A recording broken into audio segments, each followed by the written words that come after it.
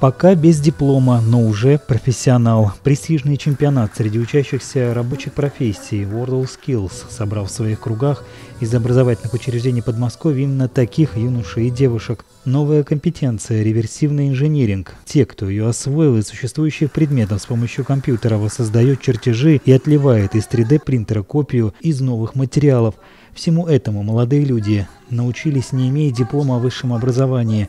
Награждение победителя отборочного этапа сопровождалось музыкальными номерами и пожеланиями дальнейших побед от сокурсников и членов жюри. Всех еще раз поздравляю с завершением этого грандиозного мероприятия, всем успехов, упорно тренироваться каждый день, чтобы Московская область могла сформировать такую команду, чтобы Первое место Краснодаре было за нами. Позади остались месяцы трудоемкой подготовки. Для конкурса дизайнеров участникам необходимо было привести с собой на площадку грунт и рассаду. С охапками цветов и декоративными растениями создавали букеты дизайнеры. Конкурс по ремонту легковых авто проходил в мастерской, оборудованной техникой по новым стандартам. По-другому современный автомобиль не удастся поставить на колеса. Щелковский колледж принимает финалистов областного этапа конкурса World Skills. Здесь э, сидят победители, занявшие первые, вторые, третьи места. Это специалисты по ремонту легковых автомобилей, ландшафтному дизайну, флористике.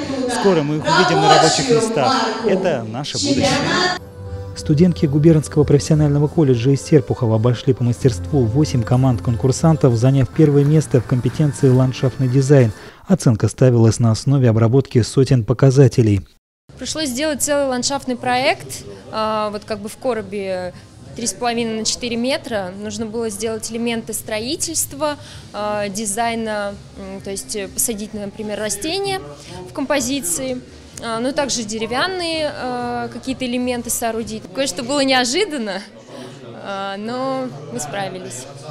Учащиеся Щелковского колледжа среди десятков претендентов заняли в отборочном туре четыре призовые места. Из них первые во флористике, реверсивному инжинирингу и автомеханике. На эту компетенцию заявилось 36 участников из 28 учреждений. По счету то, что в номинациях наши учащиеся, наши э, студенты заняли призовые места, и они готовятся сейчас на финал, который пройдет уже в Краснодаре.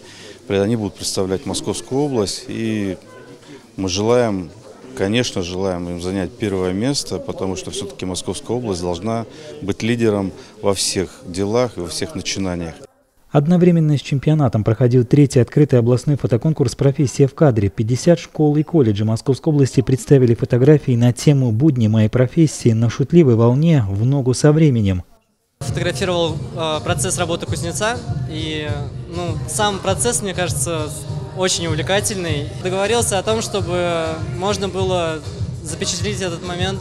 Было много кадров, но вот это вот самый лучший получился. Директор Щелковского колледжа Владимир Нерсисян не скрывает, что ожидал от студентов лучших результатов, но тех очков, что были ими заработаны, хватает для участия в финале.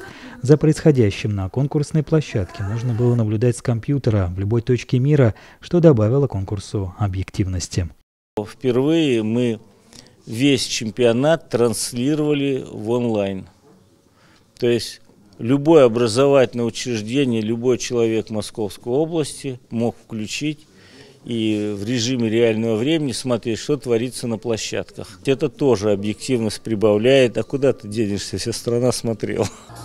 Где лучше учиться, так это на выставке. Именно так поступают ведущие мировые обучающие центры. Делегация Щелковского колледжа едет на Евроскиллс и чемпионат мира в Абу-Даби. Открывающиеся возможности придают студентам энтузиазма в учебе, привносят в систему отечественного образования лучшие международные практики. Вполне закономерно, что с таким подходом студенты Щелковского колледжа в национальном чемпионате занимают вполне достойное пятое место. Михаил Налетов, Михаил Черепанов, телерадиокомпания «Щелково».